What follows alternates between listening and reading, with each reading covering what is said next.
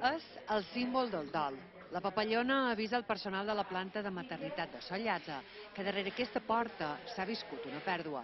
És el moment d'escoltar i acompanyar la família. A principi del 2019 va començar aquesta consulta de dol perinatal dirigida per comares, però amb el suport de tot l'equip multidisciplinar de l'hospital. Tot per ajudar les famílies en un moment molt difícil i que al llarg dels anys s'ha amagat i s'ha evitat visibilitzar, perquè l'ésser humà no està preparat per xerrar de la mort molt si es tracta d'un infant. Es un momento crucial lo que viven los padres porque es un momento antagónico, digamos, ¿no? donde el mismo día que conocen a, vas a conocer a tu bebé lo tienes que despedir, es un hola y un adiós importantísimo el acompañamiento, importantísimo muchas veces el silencio, no se requiere muchas veces hablar y tú lo ves, la presencia és suficiente. Aquestes comares especialitzades en dol perinatal han fet 70 consultes durant el passat 2020. Un any molt complicat, en què moltes consultes s'han fet via telèfon, però tot i això, el seu acompanyament és molt valorat per les famílies. Les 25 comares que formen l'equip de l'Hospital de Sollatza han atès 1.803 parts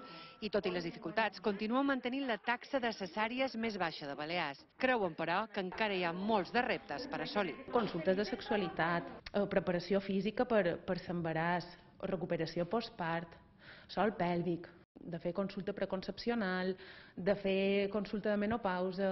Uns reptes que les comares reclamen en el seu Dia Internacional amb el lema Invertir en comares.